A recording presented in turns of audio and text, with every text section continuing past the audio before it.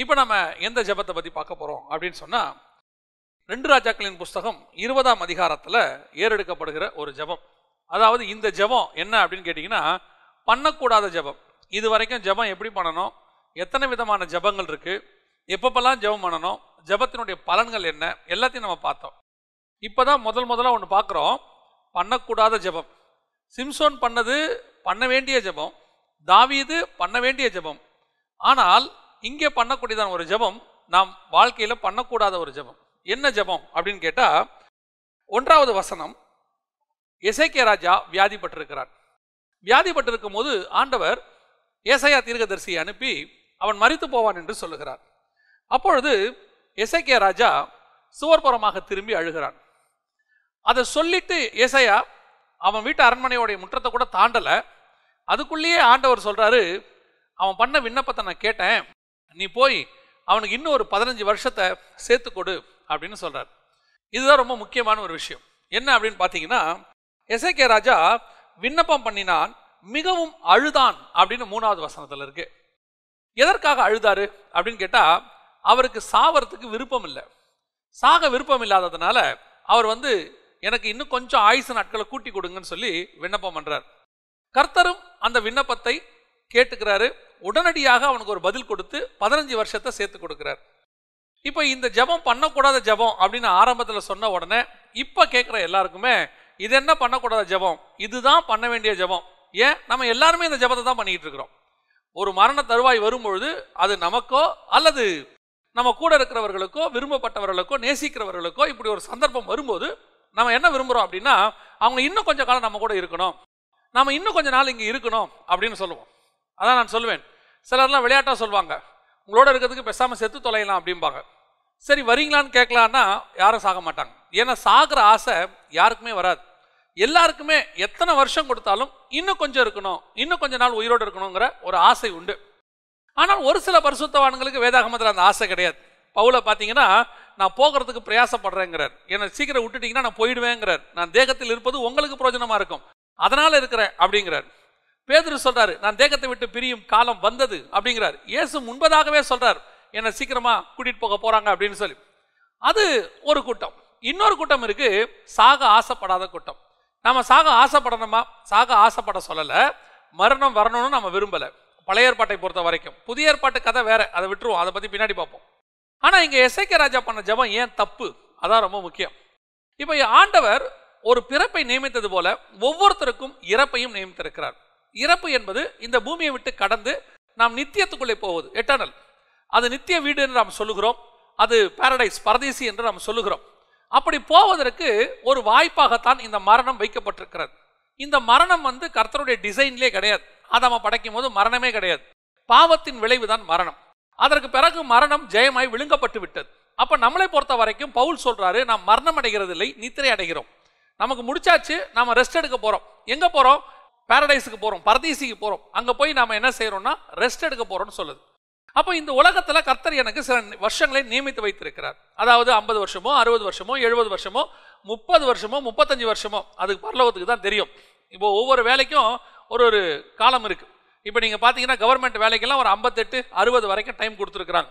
ஆனால் கிரிக்கெட்டில் நீங்கள் பார்த்தீங்கன்னு சொன்னால் முப்பது முப்பத்தஞ்சு மேக்ஸிமம் நாற்பதுக்குள்ளே ரிட்டையர் ஆகிடுவாங்க அதுக்கு மேலே வச்சுக்க மாட்டாங்க. ராணுவத்தில் போனீங்கன்னா அதே மாதிரி தான் ஒரு சர்டன் கேட்டகரிக்கு இவ்வளவுதான் வயசு. அதுக்கு மேலே வச்சுக்க மாட்டாங்க. அதே மாதிரி ஒவ்வொருத்தருக்கும் ஒவ்வொரு காலகட்டம் ஒவ்வொரு ஏஜ் அந்தந்த ஏ வேலைக்கு ஏற்ற மாதிரி. நமக்கு எப்படி அப்படின்னு கேட்டிங்கன்னா நம்மளை ஆண்டவர் எந்த நோக்கத்துக்காக இந்த பூமிக்கு அனுப்புனாரோ அந்த வேலையை நம்ம செஞ்சு முடித்த உடனே இந்த பூமியை விட்டு கல கடந்துருவோம். அது வரைக்கும் தான் நமக்கு இந்த உலகத்தில் இந்த வேலை சம்பாத்தியம் குடும்பம் உறவுகள் எல்லாமே அதுக்காக கொடுக்கப்பட்டது. அதாவது நாம் போகிற வரைக்கும் நம்ம இங்கே இருக்கிறதுக்கு. எப்படி நாம் இந்த உலகத்தை விட்டு போகிற வரைக்கும் ஒரு உலக பிரகரமான வேலை தேவை சம்பாதிக்கணும் ஒரு குடும்பத்தை காப்பாற்றணும் அப்படின்னு வச்சிருக்கிறோமோ அதே மாதிரி தான் பரலோகம் பார்க்குது. அப்படி இருக்கும்போது என்னை கர்த்தர் அழைக்கிற காலம் வரும்போது நான் சந்தோஷமா அவரிடத்துல போகணும்? அதுவும் புதிய ஏற்பாட்டை பொறுத்த வரைக்கும் பழைய ஏற்பாட்டிலேயாவது அந்த பரிசுத்தவான்கள் மறித்தா அதாவது நீதிமான்களாக இருந்தாலும் சரி மறித்தால் மேல் பாதாளத்துக்கு தான் போனாங்க. அவங்களுக்கு பேரடைஸ் வாக்குத்தத்தம் இல்லை. அங்கே போகிறதுக்கு முடியாது. யாக்கோபு அப்படிதான் சொல்றாரு. என் ஆத்மாவை துக்கத்தோடு கூட பாதாளத்தில் இறங்க பண்ணுகிறீர்கள்னு சொல்றாரு. இப்போ சங்கீதக்காரன் சொல்லும்போது பாதாளத்தில் போய் என் படுக்கையை போட்டேங்கிறார். இப்படி இருக்கும்போது புதிய ஏற்பாட்டை பொறுத்த வரைக்கும் அந்த மரணம் ஜெயமாய் விழுங்கப்பட்டதுனால நம்ம யாருமே பாதாளத்துக்கு போல. நம்ம எல்லாம் பாரடைஸுக்கு போறோம் தேவனை சந்திக்க போறோம் நித்திய நித்தியமா சந்தோஷத்துக்குள்ள பிரவேசிக்க போறோம். அப்படி இருக்கும்போது இந்த மரணத்தை நாம் சந்தோஷமாய் வரவேற்க வேண்டும். ஆனா இன்னைக்கு என்ன இருக்குது? எசேக்கியா துக்கப்பட்ட மாதிரி எனக்கு கொஞ்சம் வருஷத்தை சேர்த்து கொடுங்க. நிறைய பேரை பார்த்தீங்கன்னு சொன்னால் சில ஊழியக்காரங்களெல்லாம் மரணம் அடைகிற நேரம் வரும்போது அவங்கள போய் கத்தி கதறி எப்படியாவது சேர்த்து கொடுங்க வருஷத்தை சேர்த்து கொடுங்கன்னு கேட்குறாங்க இந்த எசேக்கியாவோட வாழ்க்கையில் இவன் வருஷத்தை சேர்த்து வாங்கினதுனால ரெண்டு பின்விளைவுகள் இருந்துச்சு. என்ன ரெண்டு பின்விளைவுகள் அப்படின்னு பார்த்தீங்கன்னு சொன்னால் முதலாவது பின்விளைவு இந்த எசேக்கியாவுக்கு பதினஞ்சு வருஷம் சேர்த்து கொடுத்த பிறகுதான் அவனுக்கு இஸ்ரவேலிலேயே மோசமான ஒரு ராஜா பிறக்கிறான். நீங்க கவனிச்சு பாருங்க. ரெண்டு ராஜாக்களின் புஸ்தகம் இருபதாம் அதிகாரம் இருபத்தி ஓராவது வசனம். எசைக்கியா தன் பிதாக்களோடு கூட நித்திரை அடைந்த பின் அவன் குமாரனாகிய மனாசே அவன் ஸ்தானத்தில் ராஜாவானான். மனாசே ராஜாவாகிற போது பன்னிரண்டு வயதாக இருந்து நல்லா கவனிச்சுக்கொள்ளுங்க பன்னெண்டு வயசு அவனுக்கு. அப்படின்னா அவன் எப்போ பிறந்திருக்கணும்னா இந்த பதினஞ்சு வருஷத்துக்குள்ள தான் பிறந்திருக்கணும். ஏன்னா பதினஞ்சு வருஷத்துக்கு முன்னாடி பிறந்திருந்தா அவன் ராஜாவானா பதினாறு வயசு பதினேழு வயசு இருந்திருக்கணும். இப்போ பன்னெண்டு வயசுன்னு இருக்கு. ஆனால் இந்த மனாசே தான் இஸ்ரவேலிலேயே மோசமான ராஜா. ஒரு மோசமான ராஜாவுக்கு ஆண்டவர் எக்ஸாம்பிளை யாரை சொல்வார்? பைபிளில் கேட்டிங்கன்னா மனாசையை தான் சொல்வார். இதுதான் இருக்கிறதுலே ரொம்ப மோசம். கர்த்தர் உன்னை எடுக்கிற காலத்தில் நீ போகலைன்னா உன் பின்னால் ஒரு மோசமான சந்ததி ஒன்று உருவாகும். சில துக்கமான காரியங்களை உன் கண்கள் பார்க்க வேண்டியிருக்கும். கர்த்தர் உன்னை எடுக்கும் போது நீ போயிட்டினா சந்தோஷத்தோடு கூட நிம்மதியோடு கூட போக முடியும். இந்த மாதிரி நிறைய பரிசுத்தவான்கள் அனுபவித்ததை நாம் பார்த்துருக்கிறோம். கர்த்தர் அழைக்கும் போது போகாம கத்தி கதறி நான் இன்னும் கொஞ்ச நாள் இருந்தால் நலமா இருக்குமேன்னு கேட்டு வாங்கி அதற்கு பிறகு அவமானப்பட்டு அசிங்கப்பட்டு அதற்கு பிறகு நிலைமை என்ன தெரியுமா? அவங்களே ஆண்டவரே போதும் என்னை எடுத்துருங்கப்பாங்கிற நிலைமைக்கு வந்துடும் யாரெல்லாம் உங்களுக்காக ஜோம் பண்ணானோ இன்னும் ஒரு பத்து வருஷம் எங்கள் ஊழியக்காரருக்கு சேர்த்து கொடுங்கன்னு அவங்களே கடைசியில் இவர் எடுத்துருங்கப்பாங்கிற அளவுக்கு வந்துடும் நிலைமை மோசமாக போயிடும் கர்த்தர் எடுக்கும் போது போயிடணும் அதான் நல்லது. இல்லாவிட்டால் இந்த மாதிரி ஒரு மோசமான சந்ததி பிறக்கும் அல்லது நம்ம மோசமான காரியங்களை நம் கண்கள் காண வேண்டி வரும். அதுக்கு தான் வசனம் தெளிவாக சொல்லுது தீங்கு நாட்கள் வருவதற்கு முன்பே நீதிமான் எடுத்துக்கொள்ளப்படுகிறான் ஏசாய் ஐம்பத்தி ஏழு ஒன்று சொல்லுது. அந்த தீங்கு நாட்கள் நம் கண்கள் பார்க்கக்கூடாது. ஆண்டவர் அதுக்காக தான் முன்னாடியே எடுக்கிறார். ஆண்டவர் நம்ம மேலே அக்கறை உள்ளவராக இருக்கிறார். ஏதோ ஆண்டவர் வந்து நம்மளை வேதனைப்படுத்தி மரணத்தை எடுத்துக்கிறாருன்னா ஆண்டவர் என்னமோ நம்ம மேலே கோவப்பட்டு வாடா நீ நரக்கத்துக்கு ஒன்று கூட்டு போறேன்லாம் சொல்லலை. இதுக்கு மேலே இந்த பூமியில் இருந்த உனக்கு கஷ்டம். நீ பார்க்கக்கூடாததெல்லாம் பார்க்க வேண்டி வரும். ஆகவே நீ எங்கட வந்துரு. இப்போ எப்படி நிம்மதியாக இருக்கியோ அதே நிம்மதியோட பரலோகத்தில் இரு அப்படின்னு கூப்பிட்றது தான் அந்த மரணம். அதை சந்தோஷமாக ஏற்றுக்கொள்ளணும். ரெண்டாவது இந்த பதினஞ்சு வருஷத்தில் எசேக்கியா பண்ண மிகப்பெரியதான இன்னொரு தப்பு என்ன அப்படின்னு கேட்டிங்கன்னா அதுக்கப்புறம் பாபிலோன் காலங்களை கூட்டிகிட்டு வருவான் கூட்டிகிட்டு வந்து தன்னுடைய அரண்மனையில் உள்ள எல்லா காரியங்களையும் திறந்து காட்டுவான் அத்தனையும் காட்டி அவர்கள் பார்த்து விருந்து வச்சு அனுப்பி விட்டுருவான் அனுப்பி விட்ட போது ஏசாயா தீர்க்கதரிசி கேட்பாரு ஏசாயாவை நோக்கி இப்போ நீ என்ன பண்ண? பதினஞ்சாவது வசனம் என்னத்தை பார்த்தார்கள்? என்று கேட்டான். அதற்கு எசேக்கியா என் வீட்டில் உள்ள எல்லாவற்றையும் பார்த்தார்கள். என் பொக்கிஷங்களில் நான் அவர்களுக்கு காண்பிக்காத பொருள் ஒன்றுமில்லை என்றான். அதற்கு ஏசாயா எசக்கியாவை நோக்கி இதோ நாட்கள் வரும். அப்பொழுது உன் வீட்டில் உள்ளதும் உன் பிதாக்கள் இந்நாள் வரைக்கும் சேர்த்ததில் ஒன்றும் மீதியாக வைக்கப்படாமல் எல்லாம் பாபிலோனுக்கு கொண்டு போகப்படும். இந்த சாபத்துக்கு காரணம் எசேக்கியா அந்த பதினஞ்சு வருஷம் இருந்தது. எழுபது வருஷம் இஸ்ரவேலர்கள் பாபிலோனில் அடிமைத்தனத்துக்குள்ள இருந்தார்கள். அதாவது நெகமியா பீரியடு நம்ம Esther Mordecai Daniel Shadrach Meshach Abednego நம்ம சொல்லக்கூடிய அத்தனை பேரும் இந்த எழுபது வருஷத்துக்காரங்க. இந்த எழுபது வருஷ உபத்திரவத்திற்கு எது அடித்தளம் அமைத்தது அப்படின்னு நீங்கள் பார்த்தீங்கன்னு சொன்னால் எசேக்கியா இவங்களை கூட்டிகிட்டு வந்து காட்டினது. அதான் ஆண்டவர் சொல்கிறாரு நீ வரும்போது என் கூட வந்துட்டீன்னா உனக்கு நல்லது. இல்லைன்னா உன் பொக்கிஷம் உன்னை விட்டு போகும். நீ எதை இதெல்லாம் சேர்த்தியோ அதை இழக்க வேண்டி வரும். இது எசைக்கியா செய்த மதியனமான ஒரு காரியம். அதான் ரொம்ப இருக்கிறதுலே ஒரு பிரச்சனை. இந்த மதியனம் நான் நிறைய பேரை பார்த்துருக்குறேன். கர்த்தர் நம்மளை நல்ல உயர்வா வச்சிருக்கும் போதே எடுத்துக்கிட்டு போக விரும்புவார்.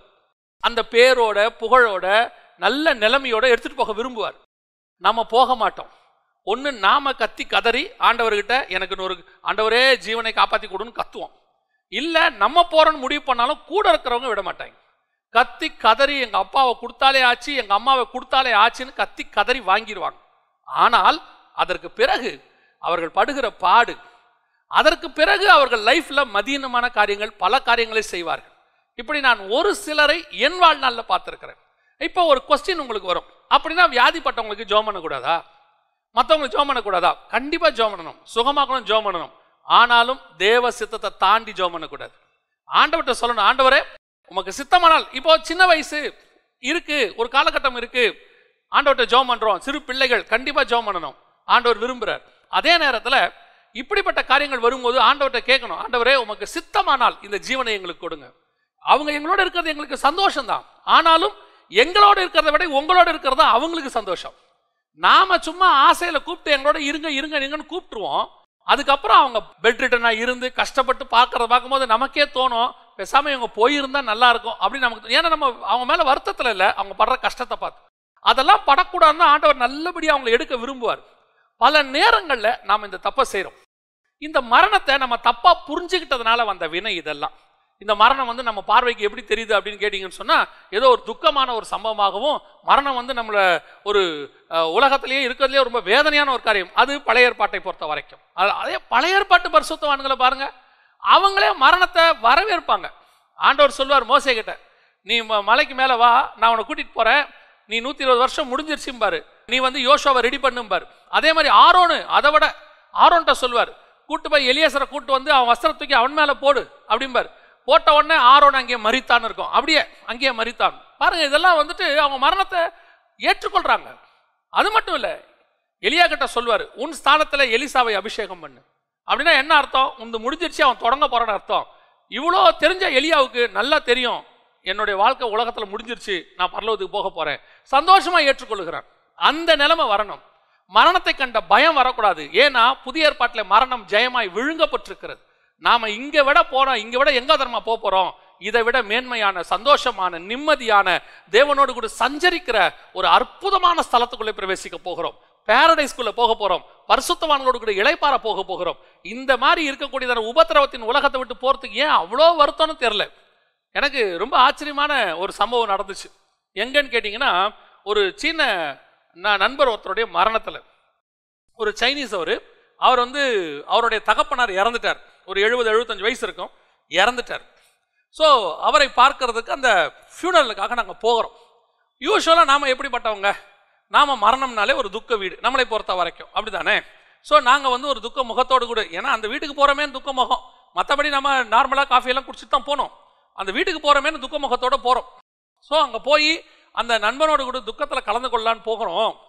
அந்த வீட்டுக்கு போனால் அவன் எங்களை சிரிச்சுக்கிட்டே வரவேற்றார். வாங்க பிரதர் பிரைஸ் தலாட் வாங்க வாங்க அப்பாவை பாருங்க அப்படின்னு. அப்பாவை பாருங்கன்னா ஏதோ உட்காந்துருக்கிறவரை பார்க்க போகிற மாதிரி கூட்டிகிட்டு போகிறாங்க பார்த்தா அந்த காஃபின் பாக்ஸில் வச்சுருக்குறாங்க. சுற்றி பார்க்குறேன் எல்லாம் உட்காந்து சந்தோஷமாக பேசிக்கிட்டு இருக்கிறாங்க. ஒரு பக்கம் பார்க்குறோம் ஒரு பிரேக்ஃபாஸ்ட் மாதிரி ஒன்று போயிட்டு இருக்கு எல்லாம் சாப்பிட்டுக்கிட்டு இருக்கிறாங்க. சந்தோஷமா இருக்கிறாங்க. ஒருத்தர் கூட அங்கே அழுததாக பார்க்கவே முடியல. யாருமே அந்த துக்கத்தோட நம்ம இருக்கிற மாதிரி எனக்கு ரொம்ப ஒரு மாதிரி ஆயிடுச்சு அப்போ நான் வந்துட்டு அனுதாபங்கள் சொல்ல போகிறோம் கண்டோலன்ஸ் சொல்ல போகிறோம் அப்படி சொன்னோடனே அவர் என்ன பார்த்து சொன்னார்? ஏன் உங்கள் முகம் இவ்வளோ சோகமாக இருக்கு? இல்லை அப்பா யார்? கமான் பாஸ்டர் அப்பா ஆண்டவர்கிட்ட போயிருக்கிறாரு பாஸ்டர் நம்ம ஏன் பாஸ்டர் வருத்தப்படணும்? அவர் நம்மளை நம்ம கூட இருந்ததை விட அப்பா கிட்ட சந்தோஷமா ஆண்டவர் கூட சந்தோஷமா இருப்பாருன்னு அவர் சொல்லும்போது எனக்கு உண்மையிலேயே இதுதான் ஆவிக்குரிய வாழ்க்கையினுடைய மெச்சூரிட்டி நம்ம என்ன சொல்லுவோம்? ஒரு பையன் அழுவாம இருந்தானா? கல்லு மனசு அவனுக்கு. அப்பா செத்து இருக்கிறாரு அவன் அழுகுறானா பாருங்க. அவன் மனசு கல்லு மனசும்பா அதுக்காகவே அழுறவன் கொஞ்சம் பேர் இருக்கிறான். அது வேற விஷயம். ஆனா இந்த நிலைமையில அவன் சந்தோஷமா சொல்றான். எங்க அப்பா பரலோகத்துக்கு போயிருக்கிறாரு. இந்த மரணம் நிச்சயமாய் சம்பவிக்க வேண்டியதான ஒரு விஷயம். அது கர்த்தர் நியமித்தது. நம்மை பொறுத்த வரைக்கும் மரணம் ஜெயமாய் விழுங்கப்பட்டு விட்டது. நாம சந்தோஷமா கர்த்தரை சந்திக்க போகிறோம். அப்படி இருக்கும்போது நாம ஏன் அதுக்காக துக்கப்படணும்? கர்த்தர் நியமிக்கிற நாளுக்கு முன்னாடி உங்களை எண்ணி யாரும் இங்கிருந்து எடுக்கவே முடியாது. ஒருத்தராலையும் இங்கேருந்து பரலத்து கூட்டிட்டு போக முடியாது. அதே நேரத்தில் கர்த்தர் நியமிச்ச பிறகு அந்த நாள் அவர் டைமை ஃபிக்ஸ் பண்ணிட்டாருன்னா போகிறது தான் நல்லது. போராடி கீராடி வாங்குறது நல்லதே கிடையாது. இந்த காலை வேலையில் நம்ம சொல்லும்போது ஒரு சிலருக்குலாம் கொஞ்சம் காலையில் ப்ரேயரில் இவர் மரணத்தை பற்றி பேசுகிறாரு இன்னும் நமக்கு மரணம் வந்து அபசகுனமாவே தெரியுது.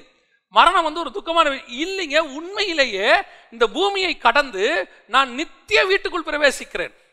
நான் இந்த பூமிக்கு வந்ததே அந்த நித்திய வீட்டுக்கு போய் நான் சந்தோஷமா இருக்கணுங்கிறதுக்காக மட்டும்தான். அதுக்காகத்தான் இந்த ஐம்பது வருஷம் அறுபது வருஷம் எனக்கு ஒரு ப்ராக்டிஸ் வச்சார் ஆண்டவர். அந்த எக்ஸாமில் நான் பாஸ் பண்ணிட்டேன் அப்படிங்கிறது தான் மரணம். நான் அதை சக்ஸஸ் பண்ணிட்டேன். நான் இன்னும் சக்ஸஸ் பண்ணுறதுக்கு டிலே ஆகிறது தான் என் வாழ்நாட்கள். என்னை நம்பி கொடுத்த வேலைகளை நான் முடிச்சிட்டேங்கிறது தான் மரணம். கர்த்தர் என்னை நம்பி கூட்டிட்டு போக போறாருங்கிறது ஒரு மரணம். அப்படி இருக்கும்போது நான் அந்த மரணங்கிற வேர்டு எனக்கு தப்பாப்படுது. இல்லை அது என்னை பாஸ் பண்ண வச்சு என்னை மேலான இடத்திற்கு கொண்டு போகுது ப்ரமோஷனுக்கு போகுது. அழிவுள்ளதான இது அழியாமையும் சாவுக்கு எதுவான இது சாவாமையும் தரித்துக் கொள்ளும் அதனாலதான் எழுதும் போது பவுல் தெளிவா சொல்றாரு. பிரியமானவர்களே மற்றவர்களைப் போல மறித்து போனவர்களை குறித்து நித்திரை அடைந்தவர்களை குறித்து நீங்கள் துக்கமாக இருக்க அறிவில்லாதிருக்க எனக்கு மனம் இல்லை நீங்கள் துக்கமாக இருக்கிறீங்கன்னா அறிவில்லாதவங்கன்னு சொல்றாரு. ஒன்று தசனிக்க நாலாம் அதிகாரத்தை வாசிச்சு பாருங்க. பன்னிரெண்டு பதிமூணு வசனங்களை. அவர் அப்படிதான் சொல்றாரு. துக்கமா இருக்கிறது ஒரு அறிவில்லாதத்தனம். அப்படின்னு எழுதுறார். நம்ம அப்படி நேரடியாக சொன்னா நீங்களாம் கோச்சிப்பீங்க. உண்மை இதுதான். இன்னைக்கு நமக்கு ஆண்டவர் நியமித்ததான ஒரு மிக முக்கியமான காலகட்டம் நம்முடைய லைஃப் அது எத்தனை வருஷம் ஒருத்தருக்கு நியமித்தார்? இப்போ இயேசு யோசித்து பாருங்க. முப்பத்தி மூன்று வயசு தான் சரி இயேசுக்கு தான் அவர் கடவுள் விட்டுருங்க. உங்களுக்கு தெரியுமா? இந்த உலகத்தையே எழுபது சதவீதம் சக்சஸ் பண்ண அலெக்சாண்டருக்கு முப்பத்தி மூணு வயசு தான். முடிச்சிட்டான் வேலை முடிஞ்சிருச்சு. எத்தனையோ ஆட்கள் உலகத்தை சாதிச்சவங்களாம் சின்ன வயசுலேயே போய் சேர்ந்துட்டாங்க. அதனால அவங்களாம் வந்துட்டு புகழடையாமல் போயிட்டாங்களா? இல்லைங்க. கர்த்தர் நமக்கு நியமித்த வரைக்கும் நம்ம இருப்போம். உண்மையாக இருப்போம் உத்தமமாக இருப்போம். கர்த்தர் கொடுத்த வேலையை நல்லபடியாக செய்வோம். அதுக்கு அடுத்து கர்த்தர் கூப்பிடும்போது சந்தோஷமாக போவோம். நம்ம துக்கமாக ஆகலை. எப்படி? பரம தகப்பனை பார்க்க போகிறோம் ஏன் நம்ம துக்கமாக போனோம்? சந்தோஷமாக தானே போனோம்? இப்போ நம்ம ஜோம் பண்ண போகிறோம் தேவ சமூகத்தில் ஆண்டவர் நோக்கி பார்க்க போகிறோம். ஆண்டவரே எனக்கு நியமித்திருக்கிற நாளளவும் எனக்கு கொடுக்கப்பட்ட வேலையை நான் நல்லபடியாக செஞ்சு முடிச்சுட்டு சந்தோஷமாக அவன் சந்திக்க வரணும் ஆண்டவரே. ஜோம் பண்ணுவோம் அந்த காலை வேலையில் சர்வ வல்லமை உள்ள எங்கள் தகப்பன இந்த அருமையான காலை வேலைக்காக ஸ்தோத்திரம். நீர் எங்களுக்கு நியமித்தவைகளை ஆண்டவரே நாங்கள் சுதந்திரத்துக்கொள்ள நாங்கள் சந்தோஷமாய் வருகிறோம். எங்கள் கண்கள் காணாததும் எங்கள் காதுகள் கேட்காததும் எங்களுக்கு நியமித்து வைத்ததுமான அந்த மகா மேன்மையை சுதந்திரித்துக் கொள்ள நாங்கள் வருகிறோம் ஆண்டவரே. எங்களுக்கு நியமித்த நாளில் நாங்கள் அதை வந்து சுதந்திரித்துக் கொள்வோம். எங்களுடைய பார்வை நோக்கம் எண்ணம் எல்லாம் அதன் மேலேயே இருக்கட்டும் ஆண்டவரே. பவுல் சொன்னது போல எனக்கு ஒன்று நியமிக்கப்பட்டிருக்கிறது. அதை நான் வாஞ்சையாய் தொடர்கிறேன். நாங்கள் ஒவ்வொருத்தரும் கீழானவைகள் அல்ல மேலான அந்த ஆசீர்வாதத்தையே நோக்கி ஓடுகிறவர்களாக அதை பெற்றுக்கொள்ள வாஞ்சை உள்ளவர்களாக. எப்போ நீர் அழைக்கிறீரோ அப்பொழுது உண்மை வந்து சந்தித்து அதை பெற்றுக்கொள்ள அந்த பரிசுகளை பெற்றுக்கொள்கிற ஒரு பிள்ளைகளாக சந்தோஷத்தோடு வருகிறவர்களாக எங்களை மாற்றும். எசேக்கியா செய்தது போல ஆண்டவரே நாங்கள் இன்னும் துக்கமாயிராதபடி தேவனாகிய கர்த்தர் உண்மையான மெய்யான சந்தோஷத்தினால் எங்களை நிரப்பும்படி நாங்கள் செபிக்கிறோம். ஆசிர்வதியும் வழி நடத்தும் இயேசுவின் நாமத்தில் பிதாவே. ஆமே